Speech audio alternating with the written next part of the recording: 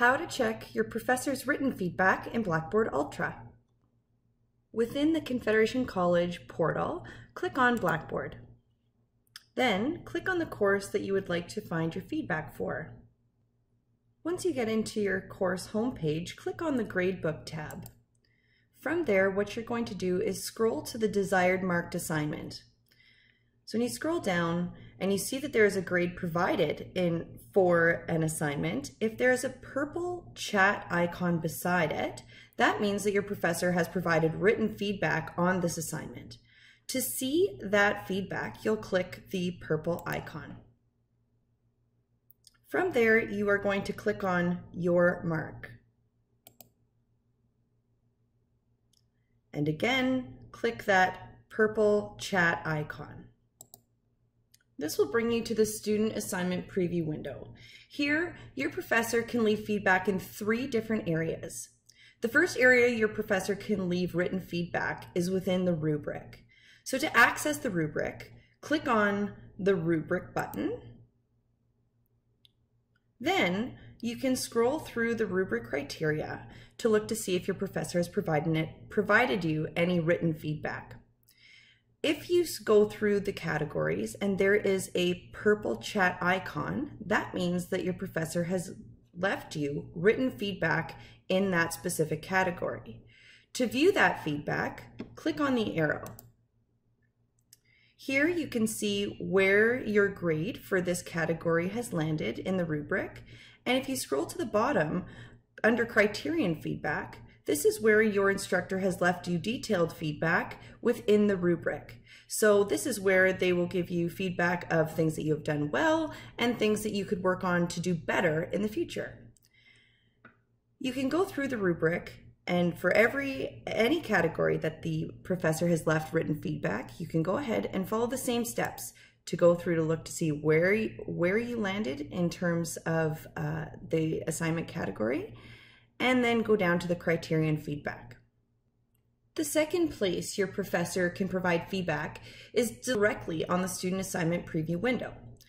Under uh, feedback for student, your professor may provide generalized feedback and might attach a graded assignment file that contains your assignment as well as your instructor's feedback. If there is a file here, you will see these three dots uh, to the side of the file name. Click those three dots and then click Download Original File. When the file is completely downloaded, click the downward arrow and then click Open. When you've opened your file, under the Review tab, click Show Comments and scroll through your assignment to find your instructor's written feedback. You can go through and uh, click the area that's been highlighted to see the matching comment. This is in Microsoft Word and keep going down to see the written feedback that your instructor has provided. So this is the second way that an instructor can leave you their written feedback. The last place an instructor can leave you feedback is directly through Blackboard.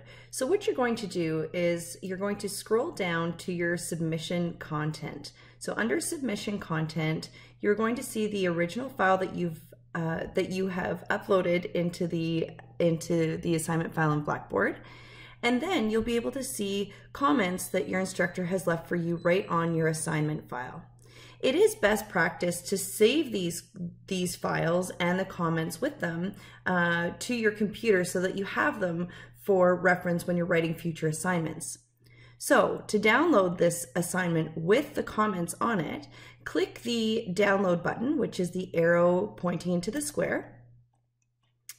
And what that's going to do is that is going to download a PDF file of your assignment with the additional comments from your professor. So click on the upward arrow, then click open, and you'll be able to go through your assignment file and check your instructor's feedback. If you do not see any comments on it, you'll, you'll see these little icons, these yellow icons of a piece of paper. And if you hover over that area, you'll be able to see exactly what your professor has left for feedback. So again, you can scroll through your assignment and anywhere where you see that little paper icon, you can hover over top of it and look to see what your professor has shown you. So to save this to your computer, click the downward arrow and then fi find where exactly on your computer you'd like to save it and then click save.